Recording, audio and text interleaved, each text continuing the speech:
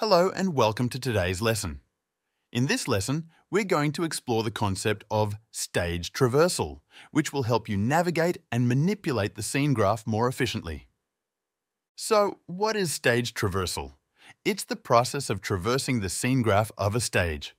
This allows you to iterate over the scene graph, accessing, querying, and manipulating the prims, and it's a fundamental concept in OpenUSD. When you open a layer in a stage, you can traverse the scene graph using various methods. You can iterate through child prims, access parent prims, and traverse the hierarchy to find specific prims of interest. This process is facilitated by the stage object, which provides an interface to load, edit, and save USD data. Traversing stages works via the USD.primRange class, but you may often interface with it through stage.traverse there are two traversal modes. Default, which iterates over child prims.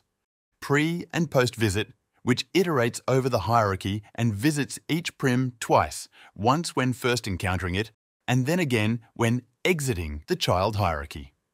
There are also predicates which can be used for pre-filtering the result. USD prim is active looks for if the active metadata is true. USD prim is loaded looks for if the ancestor payload is loaded. This one, USD prim is model, is looking for if the kind is a subkind of the kind tokens model. USD prim is group, looking for if the kind is kind, tokens, group. Is abstract, if the prim specifier is SDF, specifier class. Is defined, if the prim specifier is SDF, specifier defined.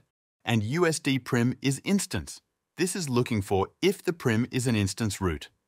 This is false for prims in instances. If you're writing code related to stage traversal, here are a few relevant Python functions you should know. This first function opens a USD file and creates a stage object. Stage.traverse traverses the stage of prims that are active. This function defines a predicate to filter prims that are active and loaded. This last function starts the traversing from the given prim and based on the predicate for filtering the traversal.